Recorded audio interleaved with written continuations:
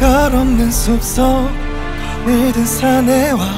세장 속 그녀의 가시 박힌 사랑 저주와 똑같은 당신의 글자 세자에 일어서서 두 글을 썩어 밀든 채 가리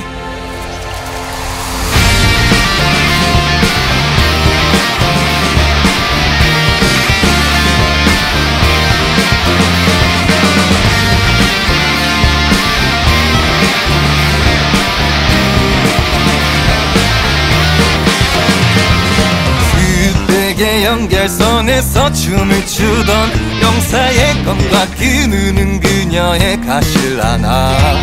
한 여왕의 손길과 사랑을 닮아 잔혹하게 죽어나간 병사들의 시신비 써라 너의 여왕이 온전히 숨을 쉬도록 이 사랑은 이동하는 그를 위한 이야기니까. 사랑 이란 저주 앞에 그마저도 무릎을 꿇고 상품인 손길에 다시 일어나 칼을 지어 달이 되어 걷는 밤 내그와 그녀를 비추리라. 내가 피로 물들고 찢어져도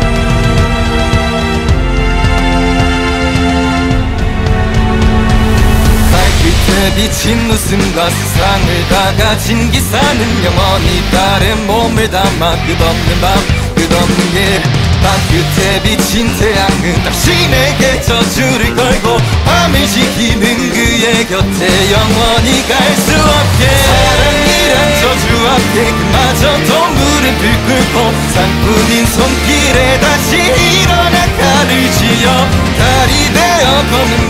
그와 그녀를 비추리라. 내가 피로 물들고 찢어져도 발끝에 비친 웃음과 세상을 다 가진 기사는 영원히 달의 몸을 담아 끝없는 밤 끝없는 길 밤끝에 비친 태양